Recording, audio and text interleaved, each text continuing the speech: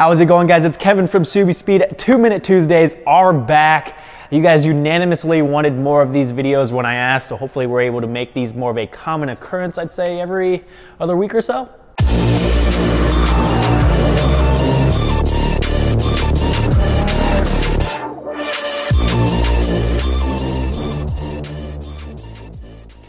This week we're talking about the all important air oil separator and how it works. Let's put two minutes on the clock and see if I can knock this out.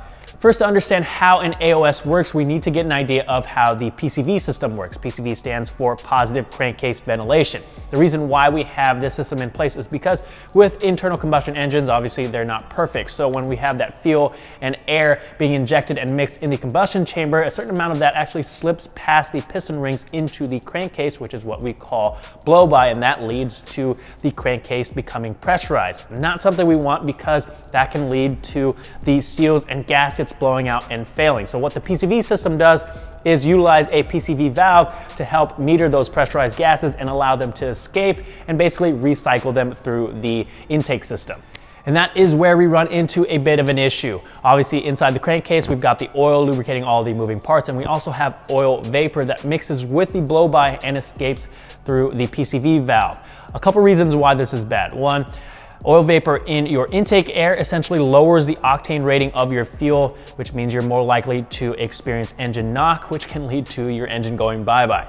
Another reason why it's bad is because oil and carbon can build up over time in your intercooler, your intake manifold, your valves, and it just leads to even more issues. It's even more prevalent in modern day direct injection engines because those valves aren't being washed with fuel with it being uh, injected directly into the combustion chamber.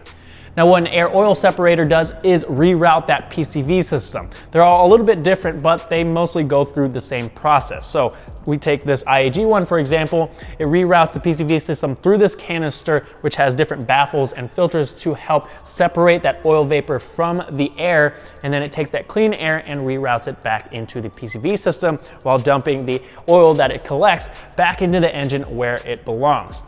This one in particular also has a coolant running around the canister to help maintain the operating temperature of that oil to prevent any condensation, which is why sometimes you see that milky white substance in catch cans.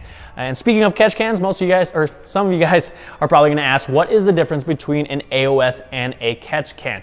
Uh, when, while they essentially do the same exact thing, Instead of dumping the oil back into the engine, a catch can just collects the oil that it captures inside that canister. So you have to check on it from time to time and dump it when it's full, where an AOS is more of a set it and forget it type of setup. And that is basically how an AOS works, guys. If you guys enjoyed the video, be sure to give this video a thumbs up, hit that subscribe button for more content. Thank you guys for watching, and I'll see you in the next one.